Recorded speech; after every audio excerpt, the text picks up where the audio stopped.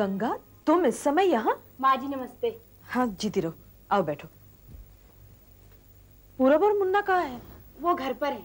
मुझे तो आपका आशीर्वाद चाहिए था इसलिए मौका मिलते चली आई। माँ जी मैंने पूरब को सरकारी गवाह बनने के लिए राज़ी करवा लिया है। वो अब आपको आपका हक भी दिलाना चाहते हैं। लेकिन पूरब के बाप ने उसे फिर भगा दिया? मैं कुछ समझी देखिए माँ जी पूरब तैयार है। उसने अपनी गलती मान ली है वो मोहन भैया से भी मिलने गया। था मैं अपनी माँ को उसका हक दिलाऊँगा। लेकिन फिर उस बाजारू औरत के साथ मिलकर पूरब के बाप ने दिल के दौरे पर मेरा नाटक किया और पूरब उधर फिर फिसल गया। मैं जानती हूँ रमाकांत किस हद तक गिर सकता है। वो किसी भी हालत में पूरब को अपने हाथ से निकलने नहीं देगा। वो कुछ भी कर सकता है। हाँ अब मैं क्या करूँ? मेरी तो कुछ समझ में नहीं आ रहा है। आप ही बताइए। अगर मेरा काम मानो तो तुम्हें पूरब के साथ वरना न जाने वो दोनों उसे क्या पढ़ाने के लिए बचा ही क्या माँ जी मैं उस घर में उन दो जल्लादों के बीच में नहीं रह सकती माँ जी हाँ अब आप ही बताइए, मैं क्या करूँ? हाँ जी माँ जी मुझे अपने चरणों में थोड़ी सी जगह दे दीजिए माँ जी मैं गरीब कहाँ जाऊँगी माँ जी प्लीज़ माँ जी प्लीज़ माँ जी अरे गंगा, ये क्या कर रही हो तुम? तुम तो मेरी बड़ी बहू हो, मेरे पूरब की पत्नी। जब आप जानती हैं कि मैं आपकी बड़ी तो मुझे तो मैं तो हम सब एक साथ रहें तो ठीक है। मैं कल अपना सारा सामान लेके आ जाऊँगी लेकिन आप तड़पता इतना है।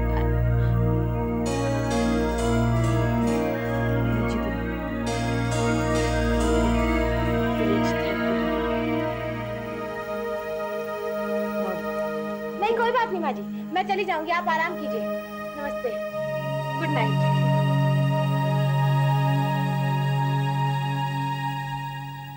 यहाँ क्यों क्यों है?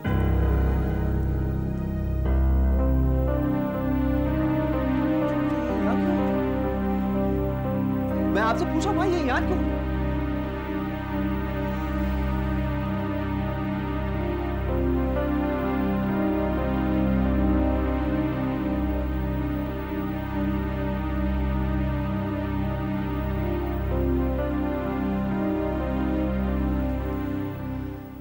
अरे मामी रोटी लाओ ना जल्दी। भूख लगी है भाई। अरे ला रही है जरा रुको।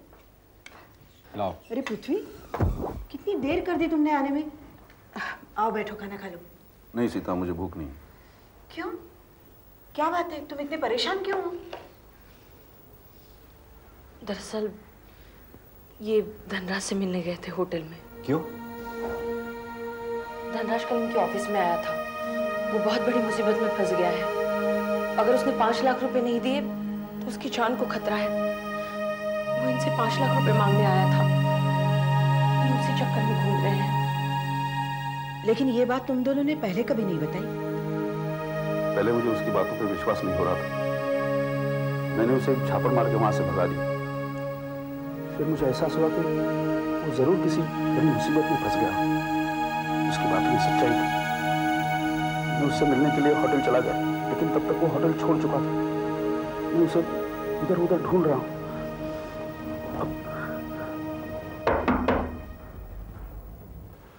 मैं देखता हूँ।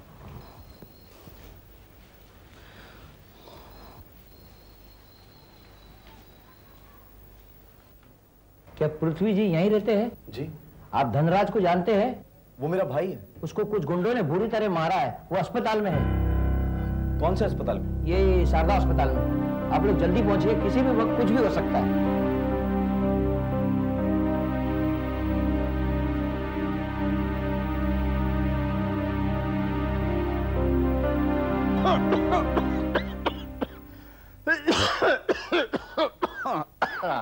बस बस बस बस मेरे हीरो। माना कि तू टॉप का एक्टर है। पर मेरे सामने एक्टिंग बंद कर। अरे जाने मन एक्टिंग करते करते तो सचमुच दर्द होने लगा है। इंजेक्शन और दवाइयाँ अपना असर दिखा रही हैं। सारे बदन में दर्द हो रहा है। हाय हाय हाय। अब इतना बड़ा ड्रामा किया है तो थोड़ी बहुत सजा तो मिलनी चाहिए ना। लेकिन कब तक? हैं? मैं तो एक्टिंग करते करते खुद ही बीमार महसूस करने लगा हूँ। उस डॉक्टर ने सारे टेस्ट कर लिए हैं। उनकी रिपोर्ट आई नहीं कि सारा भेद खुल जाएगा और फिर डॉक्टर बोलेगा छुट्टी। अरे हाँ ये तो मैंने सोचा ही नहीं। कोई दूसरा रास्ता अपनाना पड़ेगा। अगर रिपोर्ट सच निकली तो? निकली तो क्या मिस्टर रमाकांत? आप तो बिल्कुल ठीक है। आप चाहे तो आज ही घर जा सकते हैं। डॉक्टर साहब आपने मेरे सब टेस्ट ठीक से किए थे मैं कुछ समझा नहीं। मेरे कहने का मतलब यह है कि अभी भी मेरे सीने में दर्द होता है। सांस लेने में तकलीफ़ होती है बहुत। लेकिन सारे रिपोर्ट्स तो पॉजिटिव है। एंड अकॉर्डिंग टू इट आपको कोई बीमारी है ही नहीं। ला।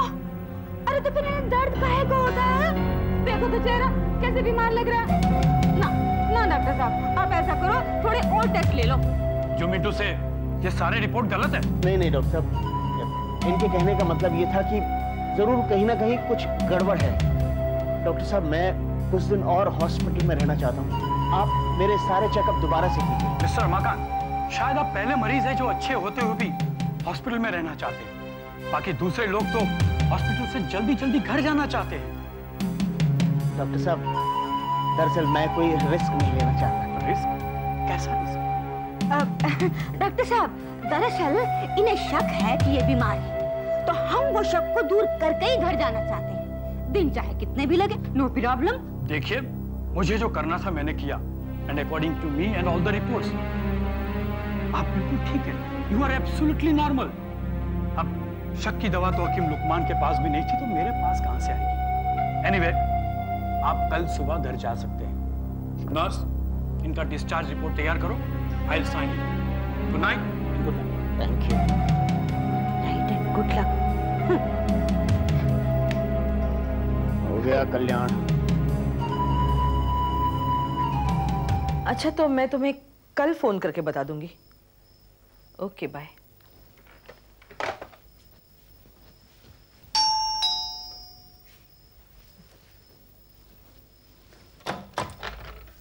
अरे आप? हाँ मैं? तुमने कहा था ना यहाँ आने के लिए मैं आ गया। मुझे पता था। सीता दीदी आपको मना नहीं करेगी। लो आया मैं और एहसान सीता दीदी का। कमाल एहसान तो मैं आपके भी मानती हूँ। आज मुझे लगा कि आपकी नाराज़गी दूर होगी अच्छा ये सब ठीक है? एक चाय पिला दो जल्दी से। चाय? खाने का वक्त है। देखो खाना तो मुझे सीता ने खिला दिया है। तुम चाय पिला दो। अच्छा अभी ले। सूरज और धीरज भी बहुत खुश होंगे आपसे मिलके। मतलब तुम्हें कोई खुशी नहीं हुई?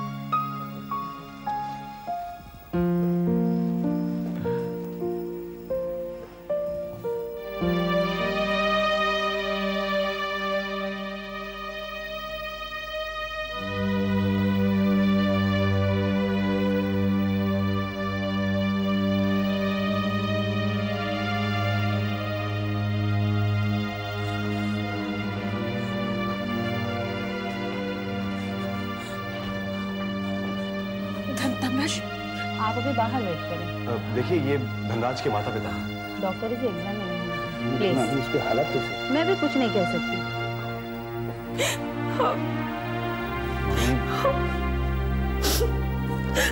आप आप यहाँ बैठिए। मम्मी भी डॉक्टर बाहर आएगा तो सब पता चल जाएगा भगवान सब ठीक करेगा।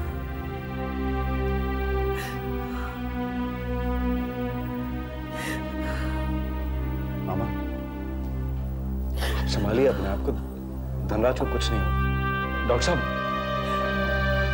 धनराज कैसा है? ठीक है अभी कुछ नहीं कह सकते। गाँव बहुत गहरे है ब्रेन इंजरी सारे रिपोर्ट्स आ जाने दीजिए उसके बाद ही डिसीज़न ले सकते अभी तो सिर्फ़ इतना कह सकता हूँ कि लेट्स ब्रदर क्या मैं उसे एक नज़र देख सकता हूँ? अभी नहीं। आप लोग मॉर्निंग में आइए। मैं कहीं नहीं जाऊँगी।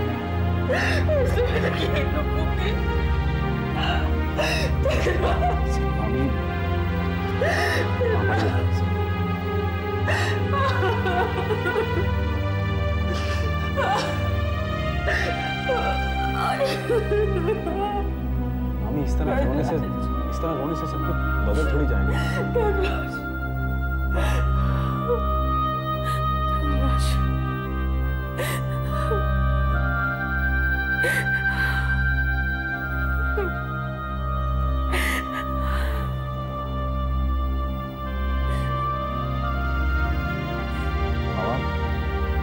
अगर आप इस तरह रोएँगे तो, फिर मामी का क्या हाल और हमें उम्मीद नहीं छोड़नी चाहिए। मैं भी कैसा अभागा आप? जो जो अपने बेटे के लिए कुछ नहीं कर सकता। मेरे पास कभी के लिए कुछ है भी नहीं। मैं भगवान से प्रार्थना करूँगा तो वो भी मेरी नहीं सुनेगा। मेरी मेरी किए की सजा मेरे बेटे को भुगतनी पड़ रही। है माँ ऊपर वाला सबको सुधरने का मौका दे। आप प्रार्थना कीजिए, वो ज़रूर सुनेगा। मुझे चिंता है, डॉक्टर साहब कहीं ऑपरेशन के लिए न करें अरे, इस वक्त मेरे जेब में थोड़ी तो आप पैसे की चिंता करके मत कीजिए। सब इंतज़ाम हो जाए मैं हूँ ना, मामा। और फिर धनराज सिर्फ़ आपका बेटा ही नहीं, मेरा भाई। भी। जो भी खर्चा होगा, वो मैं समझूँगा आप मामी के पास बैठिए। मैं घर होकर आता हूँ। पद्मा और माँ भी चिंता कर रहे होंगे। और जल्दी जल्दी में, मैं कुछ पैसे भी नहीं लाया। पता नहीं किस वक्त किस चीज़ की ज़रूरत पड़ जाए।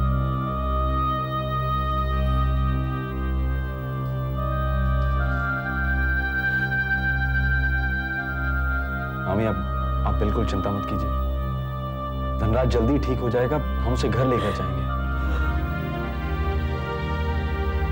मैं, अभी आता हूँ।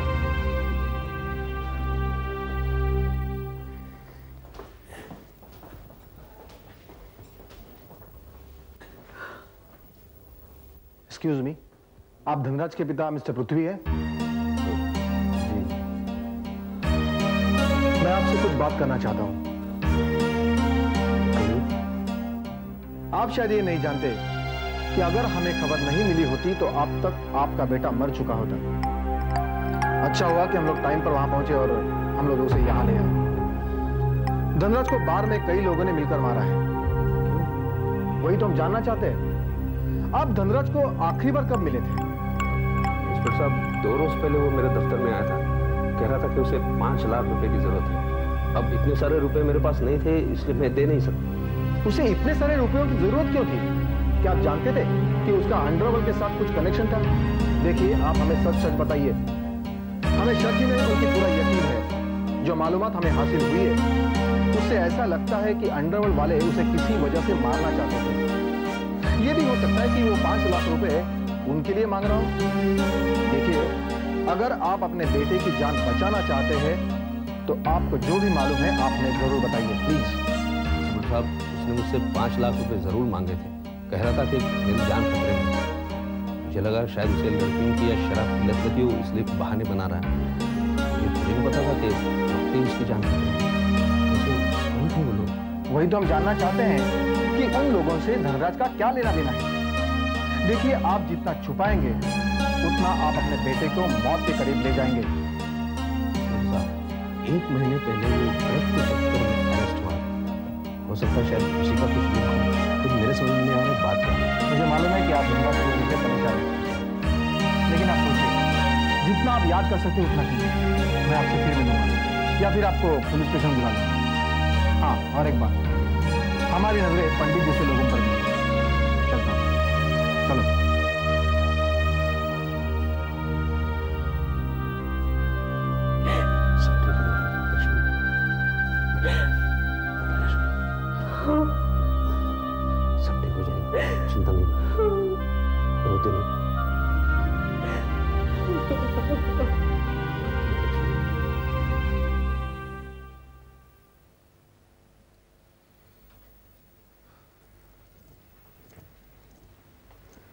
बात है पूरब तुम सोए नहीं अभी तक? नींद नहीं आ रही है गंगा। ऐसा क्या हो गया जो नींद नहीं आ रही? पिताजी की तबीयत खराब हो गई। अब उसकी वजह भी मैं ही हूँ। मैं सरकारी गवाह बन गया ये सुनकर मैं बहुत दुख पहुँचा अब मैंने इस तरह मरने तो नहीं दे सकता। मैं अपना बयान बदल दूँगा हाँ और चले जाना जेल। अदालत में झूठा बयान देने के कारण। तुमने कभी सोचा मेरा क्या होगा? बच्चे का क्या होगा? तुम्हें कुछ नहीं होगा और ना बच्चे। और तुम्हें? मुझे भी कुछ नहीं होगा। और ना पिताजी। तुम क्या सोच रहे हो क्या कर रहे हो? मेरी तो कुछ समझ में नहीं आ रहा है। मुझे भी तो बताओ ना। देखो मोहन को ये सब हासिल करते करते बरसों निकल जाएँगे इसलिए मैंने और पिताजी ने एक प्लान बनाया है। जिस मयूर ने हमें इतना बड़ा धोखा दिया हमारे इतने पैसे लेकर भाग गया उस मयूर को हम इस केस में फंसा देंगे। क्या? हाँ। एक तीर से दो शिकार सारा इल्ज़ाम हम उसके सर मार देंगे। और ये भी कह देंगे कि जनार्दन के झूठे सिग्नेचर भी उसी ने किए थे। और अगर वो पकड़ा गया और सच उगल दिया उसने तो? पहली बात तो वो पकड़ा जाएगा और अगर वो पकड़ा भी गया तो सबसे पहले जेल उसे मैं करूँगा क्योंकि वो मेरे पैसे लेकर भागा था। और ये बात तो सब जानते हैं कि वो शहर में नहीं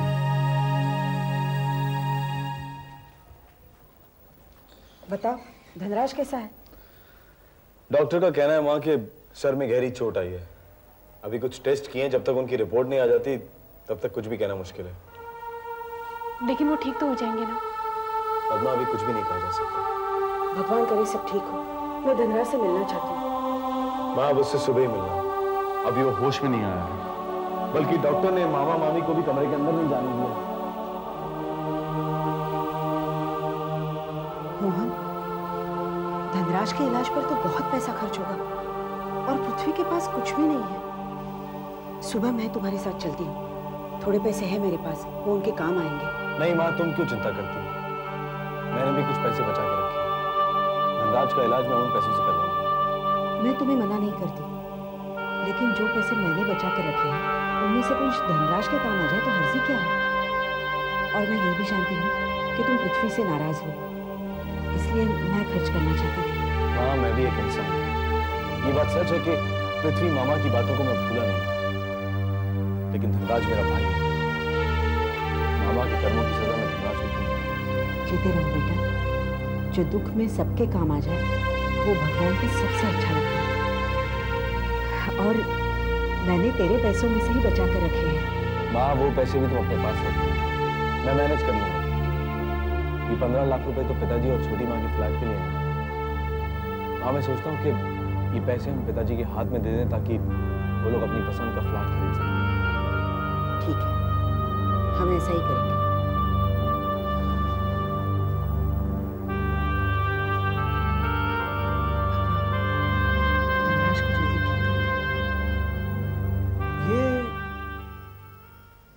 यहाँ क्यों आई थी भैया? पूरब भैया तो खुद यहाँ आकर कह गए कि वो अप्रूवर बन रहे हाँ। मुझे तो लगता है कि इस बात का सारा क्रेडिट गंगा खाना चाहती है इसलिए वो यहाँ आई थी। मुझे तो दाल में काला नज़र आ रहा भैया। हाँ इसलिए वो यहाँ पर आई थी। क्योंकि उसने पहले पूरे भैया को फांसा उन्हें अपनी उंगलियों पर नचाया और अब माँ को पटाना चाहती है। अरे बहुत बड़ी कलाकार है भैया वो बहुत बड़ी कलाकार है। और हमारी माँ जो है बहुत भोली भाली है। मगरमच्छ के आँसू और असली आँसू में तो उन्हें फ़र्क ही नज़र नहीं आता। ये गंगा कोई प्लान बनाकर हमारे घर में घुसना चाहती है? क्योंकि अब उस घर में तो वो रामकली का राज चला ना भैया। तो ठीक कह रहे धीरज बिल्कुल ठीक कह रहा है। क्योंकि गंगा की वहाँ तो अब चलती नहीं होगी। क्योंकि पूरे भैया रमाकांत के बहकावे में है। रमाकांत रामकली के। और फंस गई गंगा। उसकी बात चलती नहीं इसलिए घबराहट के हमारे वो माँ के पास आ गई। हाँ और ऊपर से माँ ने भी तो उसे कह दिया कि आ जाओ बेटी तुम इस घर की बड़ी बहू हो। धीरज वो इस घर की बड़ी बहू है। अरे काय की बड़ी बहू भैया? जरा सोचो अगर वो इस घर में आ गई और ऐसी वैसी हरकत कर बैठी तो। क्या इंप्रेशन पड़ेगा सीमा और पायल पर? धीरज तो एकदम ठीक है। लेकिन माँ का दिल कैसे तोड़ सकते हैं हम धीरज अगर वो यहाँ पर आती उसे आने दे। हम थोड़े होशियार हो जाएँगे और क्या? यस ये भी अलर्ट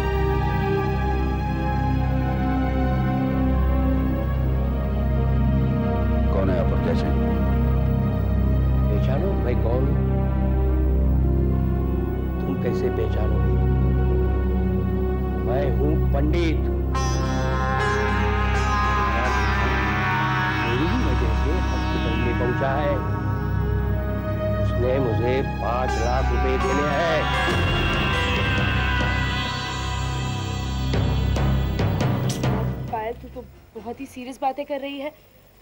मेरे ख्याल से शादी लड़की के अधूरेपन को पूरा करती है। और शादी के बाद ही ज़िंदगी के असली मायने समझ में आते हैं। समझ में आते हैं लेकिन उन लोगों को जिनकी ज़िंदगी में ना कोई मुश्किलें होती हैं और ना ही कोई अड़चने। पायल तू डैड की बात कर रही है ना? उनकी बातों से डर गई। पायल डैड डैड हमारे साथ कोई ज़बरदस्ती नहीं कर सकते। जानती हूँ सीमा, वो हमारे साथ ज़बरदस्ती नहीं कर सकते। देख, मैं तेरे सामने हकीकत का आईना रखती हूँ, ठीक है? अब see I can't I can't find words to explain you what I want to say देख, अगर तू खुद समझ जाएगी ना तो तेरी आने वाली ज़िंदगी तेरे लिए बहुत आसान हो जाएगी।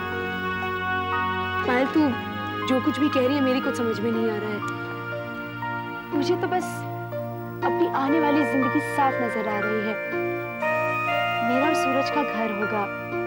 नौकर चाकर होंगे गाड़ियाँ होंगी हमारे बच्चे होंगे। बच्चे? और माइंड बच्ची तो तू खुद है। बच्चों के बारे में क्या बातें कर रही है तू? सपनों की दुनिया से बाहर निकल। मैं तुझसे क्या कहना चाहती हूँ? प्लीज़ ट्राई एंड अंडरस्टैंड आज एक हम इंडिपेंडेंट ज़िंदगी जी रहे हैं राइट जहाँ to an extent we are not answerable to someone okay मतलब हम अपनी मर्ज़ी से घूमते फिरते हैं। मतलब जो दिल में आता है वो करते हैं पर शादी के बाद ऐसा नहीं होगा। हमारी ज़िंदगी ही बदल जाएगी। क्यों? नाम सुनते ही हवा निकल गई। नहीं जानता हूँ। पुलिस से तुमने क्या क्या कहा है? मैंने पुलिस से कुछ नहीं कहा। मुझे तो ये मालूम ही नहीं था कि आपको पैसे देने के लिए मेरा मेरे पास पैसे मांगने आया था। पुलिस से क्या कहता जो आदमी इतना कुछ करने के बाद यहाँ तक आ सकता है।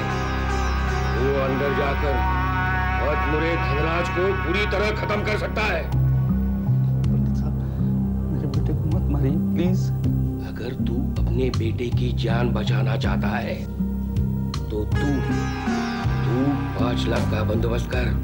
जल्दी मैं कैसे भी तुझसे कांटेक्ट कर लूँगा। वरना अपने बेटे के चिता को आग लगाते हुए तू अच्छा लगेगा समझा?